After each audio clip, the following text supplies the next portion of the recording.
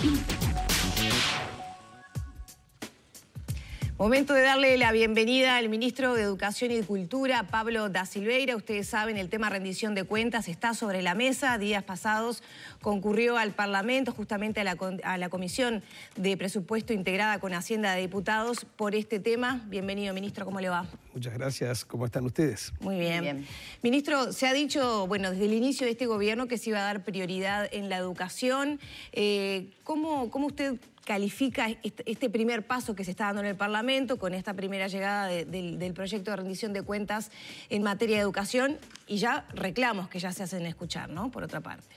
Bueno, creo que básicamente hay, hay muy buenas noticias para la educación. Eh, el gobierno está haciendo un esfuerzo muy grande para, para poner una cantidad importante de recursos suplementarios en lo educativo. Hay una decisión personal del presidente de la República de decir, bueno, esto es lo que, lo que se prioriza en esta rendición. Eh, cosa normal, ¿no? Los dos años anteriores teníamos pandemia, teníamos distintas eh, urgencias sociales. Bueno, este año en el que el proceso de transformación educativa está finalmente y por suerte, una vez superada la emergencia, eh, tomando fuerza y tomando velocidad, se está poniendo una cantidad grande de recursos que nos van a permitir cumplir los objetivos que nos hemos propuesto. Eh, esto siempre digo, para que las cosas pasen en educación, para que haya cambios, tiene que haber buenas ideas y tiene que haber recursos. Si uno tiene solo recursos pero no tiene ideas, termina malgastando. Si uno tiene ideas y no tiene recursos, termina frustrado. Y muchas de las cosas que estamos impulsando requieren recursos complementarios.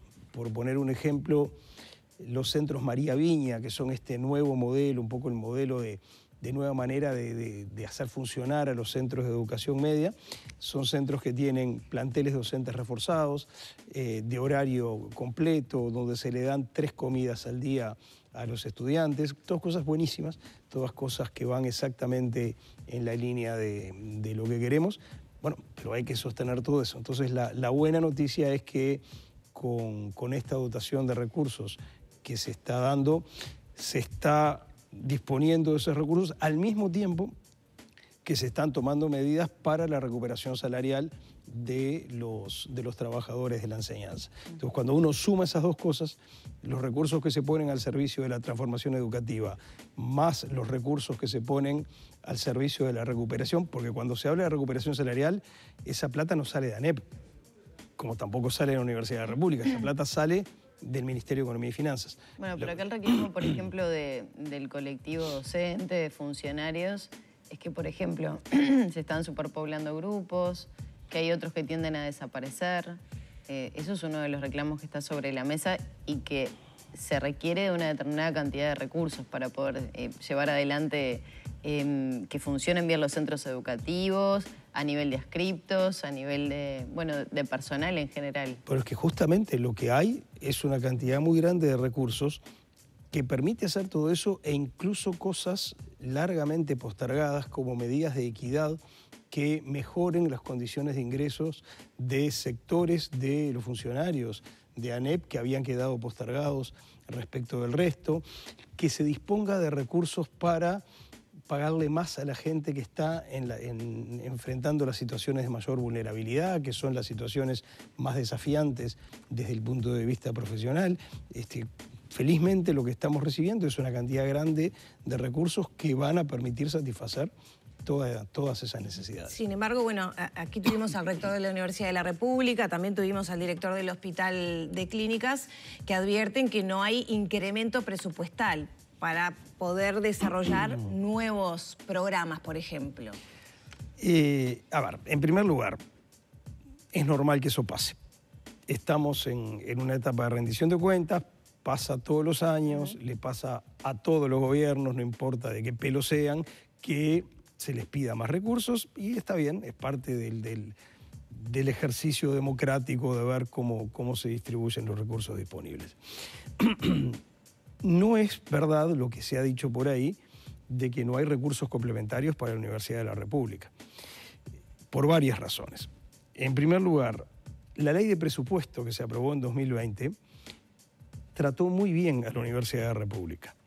no solo subió lo que se llama la línea de base de lo que recibe la institución respecto de lo que pasaba en los años anteriores, sino que previó muchos millones de pesos incrementales para todos los años siguientes.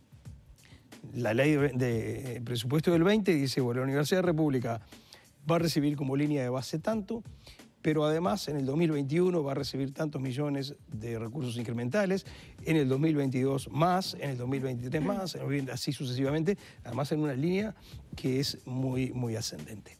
Además de eso, la ley de rendición de cuentas del año 2021 agregó más recursos incrementales para la Universidad de la República. La ley del 21, aprobada del 21, dice a los recursos incrementales que estaban previstos por la ley de presupuesto para el año 22 se suman tantos millones más. A los recursos incrementales que estaban previstos para el año 23 se suman, se suman tantos millones más y así sucesivamente. A eso hay que agregar los 7 millones de dólares que se están agregando para la construcción de una sede de la Universidad de la República en Paysandú. Eso es esta Pero esos recursos no van para la Intendencia de Paysandú. Esos recursos van a ser administrados por la Intendencia de Paysandú por buenas razones. Por ejemplo, para estar seguros de que va a generar empleo durante el proceso de construcción entre los anduceros. Pero el resultado... Si lo hace la universidad, no, genera empleo? Eh, es una manera de asegurar... No, no, empleo genera siempre. El asunto es que uno puede contratar una empresa de otro lugar o, cosas por el estilo. De esta manera nos aseguramos de que eh, haya una política que privilegie las contrataciones en Paysandú.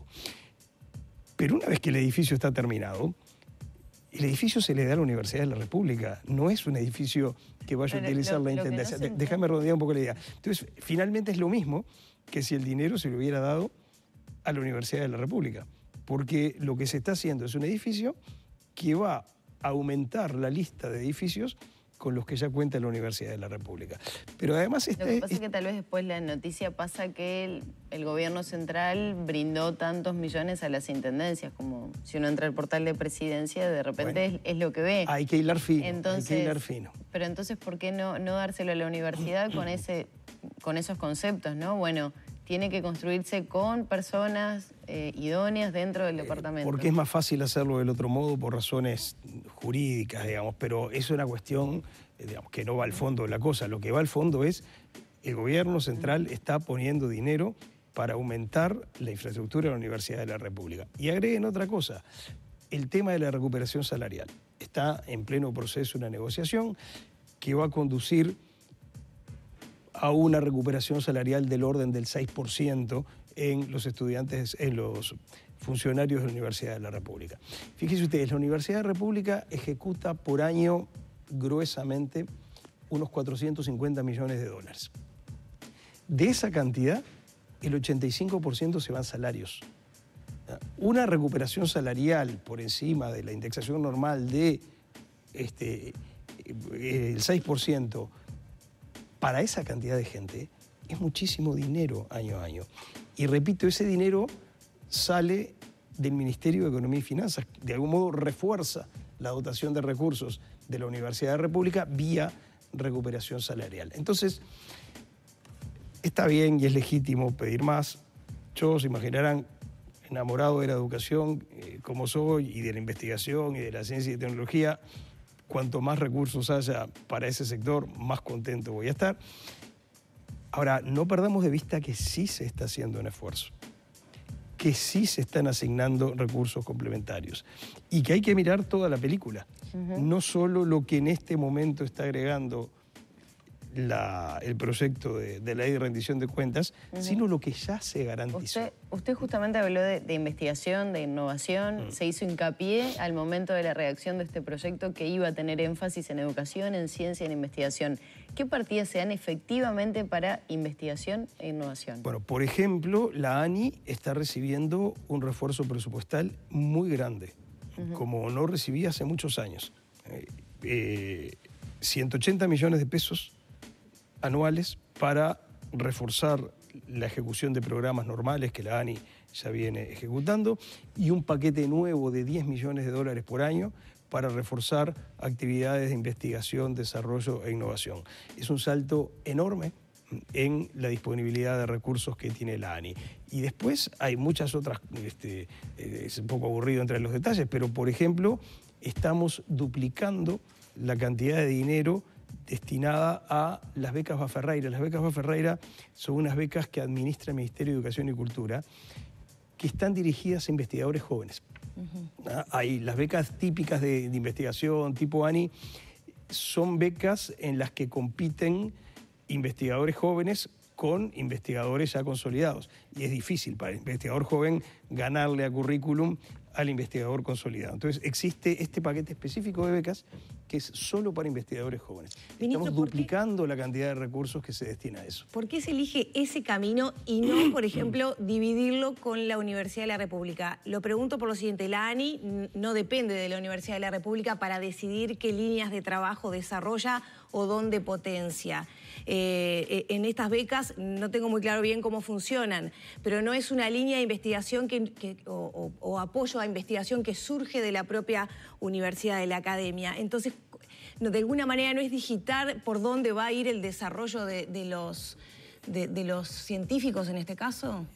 Es todo lo contrario de digitar, sí es una decisión política.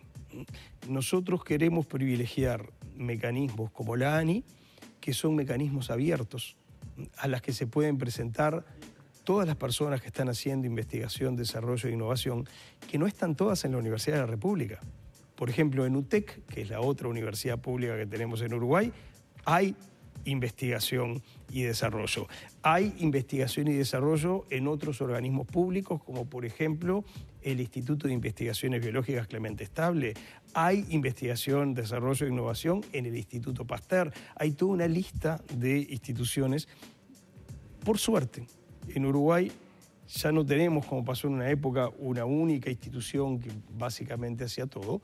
Tenemos todo un ecosistema institucional que sostiene la enseñanza de posgrado, la investigación, el desarrollo, la innovación. Entonces nosotros creemos mucho en mecanismos como son los de la ANI, como es el Fondo Baferreira, mecanismos abiertos, de convocatoria abierta, donde lo que importa no es en qué institución estás trabajando, lo que importa es la calidad de lo que estás haciendo. Y sí, claramente hay una opción de este gobierno en el sentido de ir por esa dirección. Yo pienso, por ejemplo, y me imagino el televidente en su casa también, con todo lo que fue la pandemia y todo lo que se aportó por parte del Instituto Pasteur, por ejemplo, de los científicos uruguayos a través de la universidad también, que a veces pueden sentir que no se está dando el apoyo económico con recursos y demás para poder desarrollar otras líneas de investigación. ¿Eso no va a ocurrir? Pero justamente es lo que está ocurriendo. Por ejemplo, estamos creando este Para la fondo... Facultad de Ciencias, por ejemplo, la de donde surgen muchísimos de los científicos que apoyaron toda esta etapa en nuestro país. Por un lado está eh, el dinero que recibe directamente la Universidad de la República, 450 millones de dólares al año aproximadamente. Pero además, muchos de estos instrumentos hacen que los recursos, o que una parte importante de los recursos, terminen en la Universidad de la República. Por ejemplo, una de las cosas que administra ANI es el Sistema Nacional de Investigadores. El Sistema Nacional de Investigadores es un sistema que reconoce a los investigadores que están produciendo que están generando ciencia, que están publicando en buenos lugares y les paga una especie de sobresueldo para mejorar sus condiciones de trabajo y para que puedan seguir dedicándose a eso. Bueno, ese dinero lo maneja la ANI. Ahora, el 75% del dinero que paga el Sistema Nacional de Investigadores va a investigadores en la Universidad de la República. no, no, es tanto que se esté cambiando el destino del dinero, es se están usando criterios muy abiertos, muy transparentes, para que los que están instalados sigan recibiendo apoyo como debe ser y para que haya oportunidades para que se fortalezca la investigación en otras instituciones y para que investigadores jóvenes puedan más rápidamente ocupar lugares en el sistema. Lo mismo pasa con la plata de los grandes fondos de investigación que tiene eh, la ANI, el Fondo María Viñas, el Fondo Clemente Estable gruesamente más de la mitad de esa plata termina en la Universidad de la República. ¿Mm? Entonces, no es o la Universidad de la República o la ANI. No, no, no es eso lo que pasa. Simplemente es un momento por de... ejemplo, en todo lo que se ha manifestado por parte de la Academia Nacional de Ciencias, del colectivo científico, de investigadores, del propio rector de la universidad, que desconozcan esta realidad. Insisto. La, intergremial de la universidad también. Insisto, vayan para atrás, hagan archivo de prensa. Sin lugar a dudas, siempre en épocas de rendición de cuentas se, pide mucho más. No vamos a cambiar. Hay, una cantidad de plata para repartir.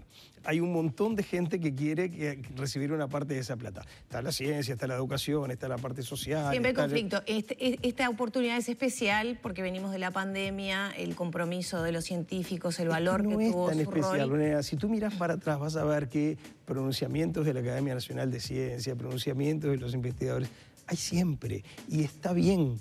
Una sociedad democrática funciona así. En una sociedad democrática, cada grupo, cada sector habla, se expresa ante la ciudadanía, explica por qué piensa que ellos tienen que recibir más dinero. Y después el sistema político tiene que arbitrar, que es, que es una de sus grandes funciones. En sociedades diversas, complejas, donde hay mucha gente que legítimamente está en busca de más recursos, bueno, tiene que arbitrar porque la cantidad es finita y finalmente tiene que decir esto, esto se va a... Pero pasa todo el tiempo todos los años, con todos los gobiernos. Eso lo, sabemos. Ministro, aprovecho para preguntarle, ¿cuál fue la intención de la creación de este nuevo Instituto del Cine? Eh, ya hubo modificación de, ¿no? del texto inicial que derogaba algunos aspectos de la ley anterior de cine. Tampoco cuenta con el apoyo de, los involucrados en el tema. ¿Cuál era la intención del gobierno en, este cambio en el instituto? Eh, a, ver, no cuenta con el apoyo. Eh, hubo una primera versión, se escucharon muchas voces, se ajustó esa versión. En este momento lo que hay es mucha satisfacción acerca de el, modelo final que estamos llegando. Lo que está pasando es que eh, hay un sector que se está desarrollando enormemente eh, y Uruguay tiene una inmensa oportunidad ahí, que es beneficiarse de tendencias internacionales. Por ejemplo, el hecho de que hoy se filma en muchos lugares del mundo. Este, antes, no quiero alargar mucho, pero en el cine tradicional, las películas eran lo que se llamaban películas de bandera. La película era francesa, quería decir que el financiamiento era francés, entonces había que filmarla en Francia con actores franceses. La película era española, lo mismo. Hoy que aparecen estos nuevos actores tipo Netflix, eso se rompió. Y hay una competencia entre países para ver quiénes consiguen atraer más producciones cinematográficas. Traer producciones cinematográficas tiene efectos enormemente benéficos sobre el país donde eso pasa. Los profesionales del cine, los técnicos, la gente que tiene equipos, este, los decoradores, los constructores de escenarios, los maquilladores, los iluminadores, los sonidistas, pero también la hotelería, el catering, este, los deliveries, todos se benefician del hecho de que una producción cinematográfica o para una serie de televisión se esté haciendo en un país. Y nos ayuda a profesionalizarnos y nos ayuda a que las producciones locales este, tengan más, más oportunidades en el mundo. Bueno, por distintas razones a Uruguay le está yendo bien en esto, porque ofrecemos una serie de condiciones buenas. La pandemia nos ayudó en ese sentido, porque cuando en otros países que atraían muchas producciones eh, se cerraron mucho, Uruguay siguió teniendo una oportunidad. Y además este gobierno ha apoyado mucho el desarrollo de ese sector. El, dinero que se estaba poniendo antes de que llegáramos nosotros para atraer esa clase de producciones era de 7 millones de dólares al año, nosotros lo subimos a 12 millones de dólares al año. Y felizmente todo esto está funcionando. Entonces lo que se está haciendo es fortalecer la institucionalidad. Para, una de las cosas que pasaban con los extranjeros era que nos decían, a ver, es bárbaro filmar en Uruguay, pero hay que hablar con demasiada gente. Para algunas cosas hay que hablar con el Ministerio de Educación, para otras cosas hay que hablar con el Ministerio de Industria, para otras hay que hablar con el Ministerio de Economía. El tema en todo caso es el cómo, ¿no? El cuestionado. ¿Por qué este mecanismo de crear un nuevo instituto, de modificar crear una agencia independiente que va a tener mucha agilidad y mucha capacidad de moverse dinámicamente, que va a funcionar como ventanilla única. Porque se evita todo el papeleo a nivel estatal o gubernamental. Se evita papeleo y se evita que el extranjero que no sabe ni qué ministerios hay en Uruguay, nada, tenga que ponerse a averiguar cómo es todo el recorrido. Entonces, hay una agencia cuyo directorio está todo lo que tiene que estar. El Ministerio de Educación, el Ministerio de Economía, el Ministerio de Industria, y que es una ventanilla única para atender a todo esto. ¿Mm? Hemos hecho una primera versión, que como todas las primeras versiones eran mejorables, hemos conversado mucho, hemos dialogado mucho, hemos escuchado mucho y ahora hay una segunda versión que responde a todos los reclamos que en las semanas pasadas había habido en relación a esto. Entonces yo creo que es una gran noticia para el cine, es una gran noticia para toda la gente que está vinculada a ese mundo y es una gran noticia para el país porque vamos a estar en mejores condiciones para seguir atrayendo producciones de este tipo. ¿Cambió entonces, eh, se modificó esos artículos que derogaban aspectos de la ley anterior de cine? Se modificó eso, se modificó el nombre, se modificó la conexión con el Poder Ejecutivo, que ahora es a través del Ministerio de Educación y Cultura. Este, actuamos con mucha flexibilidad, de una manera muy constructiva, dialogando mucho, escuchando mucho. E insisto, creo que hay que ver acá el resultado final y el resultado final es un paso adelante muy positivo para el sector y para el país. Eh, ministro, mañana hay paro docente a nivel de secundaria aquí en Montevideo, en UTU también. ¿Qué reflexiones le merece en este momento? Lo de siempre, eh, los paros de la enseñanza no son paros contra el gobierno, son paros contra los alumnos y sus familias. Hay pérdida de aprendizajes, hay muchas complicaciones en el funcionamiento de las familias. Una mujer sola con dos hijos en edad escolar que tiene que trabajar 10 horas por día para mantenerlos, si sus hijos no pueden estar en la escuela, tiene un problema. Eh, yo siempre digo, preferiría, está perfecto, desde luego, la libertad sindical, las movilizaciones gremiales, los reclamos. A mí me gustaría que especialmente en un área tan sensible como la educación, el paro no fuera la primera medida que se les ocurre, fuera la última después de haber agotado muchas cosas. Pues bueno, creo que es parte de, de algunos procesos de maduración y de sensibilización social que nos debemos los uruguayos como sociedad. Ministro, ya recibió la, situación, la citación para la, Comisión de Educación del Senado a propósito de esta situación de plagio en el documento de reforma educativa, de formación docente. Sí, lamentablemente se ha creado una costumbre en la oposición de, de organizar circos políticos. Eh, voy a ir, por supuesto, Ahora, los senadores que me convocan saben perfectamente que no tiene un sentido que el ministro de Educación esté ahí, porque esto es un problema de ANEP, que tiene que procesar ANEP y que tiene que manejar ANEP, y que si el ministro de Educación quisiera decir algo al respecto estaría violando la autonomía. Bueno, pero lamentablemente se ha creado una industria del escándalo político que va cambiando. ¿no? Hace 20 días este, era Villa Española, se armó todo un escándalo, se llevó a cosas insólitas, como que un senador de la oposición cambiara de cuadro por un fin de semana, ¿no? fue toda la vida nacional, se hizo de Villa Española. Pero es insólito un plagio dentro de, la redacción de un proyecto nuevo. De eso que hablan las autoridades de ANEG, pero vamos a ponerle, a darle la cosa el tamaño que tiene. ¿A usted lo que le molesta es que lo citen teniendo en cuenta que hay una independencia por parte del eh, eso, eso es lo más obvio, pero además, estamos hablando de un borrador. Estamos hablando de un documento interno que es un borrador que tiene muchos errores, como cualquier borrador, incluyendo este, que evidentemente es un este, error. Este es grueso, ¿no? es grueso si el día que sale y se hace público y tiene el respaldo de las autoridades sale así pero y además las autoridades reaccionaron como tienen que reaccionar, diciendo esto está mal, acá hay un problema, hay que corregirlo. Estamos hablando de un borrador. Entonces me parece que la industria del escándalo está funcionando a full y este, no creo que sea una buena manera de hacer política, no creo que sea una buena manera de hacer oposición, pero somos todos grandes, cada uno sabe cómo se maneja. ¿Y a usted qué opinión le merece la calidad del documento si tiene errores como este, por ejemplo? ¿Sabes qué? No lo leí conozco las líneas generales, pero insisto, esto es ANEP. Y estos son procesos que se cumplen dentro de ANEP. Yo, por supuesto, conozco y participo en las líneas generales de la transformación educativa que estamos impulsando, pero no estoy metido en ANEP, porque además si lo hiciera, estaría violando la Constitución de la República. Y nosotros somos muy respetuosos de la autonomía porque el régimen de la autonomía está en la universidad, está en la Constitución de la República. Entonces, ¿sabes qué? No lo leí. Usted no debería concurrir, según su opinión, pero sí, eh, por ejemplo, las autoridades de la ANEP a la Comisión de Educación. Si quieren convocar a alguien, eh, a, ver, lo de voy a ir. Yo jamás, nunca le digo que no a una convocatoria que venga del Poder Legislativo. Nunca. Creo que es una cuestión de respeto no solo a los legisladores, sino a los ciudadanos que votaron por esos legisladores. Entonces, voy a ir voy a ir a escuchar. Este, si alguien puede dar explicaciones, evidentemente son las autoridades de ANEP. Ahora, pretender que las autoridades de ANEP están en la situación de haber convalidado un plagio porque un borrador, que es un documento que está en transformación, tiene lo que sin dudas es un error y lo que las autoridades de ANEP han dicho que es un error y que hay que corregirlo inmediatamente, me parece que es este... ¿Le, puedo citar un, tuit de Sabini, del, del senador Sabini?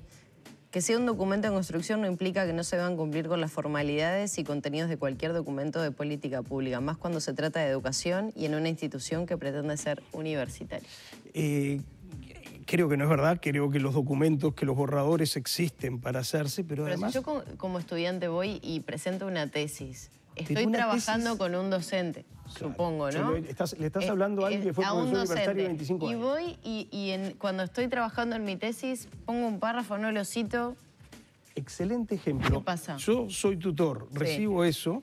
Digo porque en, las universidades es gravísimo, pues se puede perder hasta la calidad de estudiante. Yo soy tutor, tú estás haciendo una tesis, y lo que estoy diciendo, Lorena fue alumna mía, fui 25 años profesor universitario. Es verdad. Este, tú haces eso y yo te digo, leyendo tu borrador, tenés problemas con las citas, tenés que solucionarlos.